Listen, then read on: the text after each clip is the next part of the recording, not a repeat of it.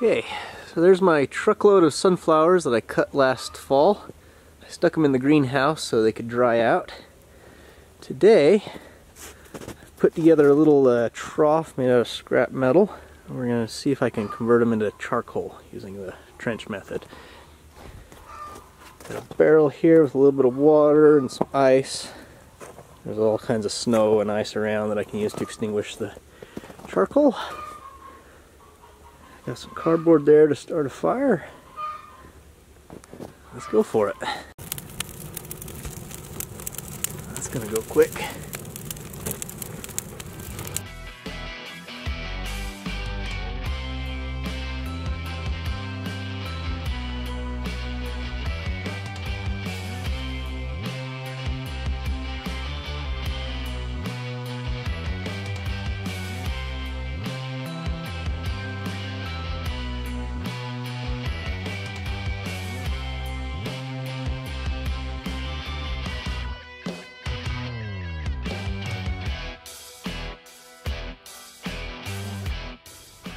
Okay, that's us.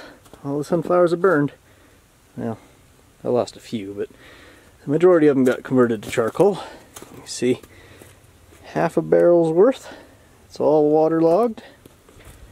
I ended up pulling the ice out because the ice was not melting fast enough to extinguish the charcoal. It would just sit there and burn underneath of it. Maybe eventually it would have, but had lost a lot of charcoal in the process. So I ended up having to go find some fresh water. Uh, one thing of note, uh, the water here is very alkaline. I stuck my hand in there to swish it around a little bit and I, I'm pretty sure I sustained a little bit of a chemical burn. So bad idea. The other charcoal I could get away with that. This stuff a much higher ash content. You know, I bet if I drained the water out of this, I could make soap. That's clear full of hydroxides, potassium and sodium.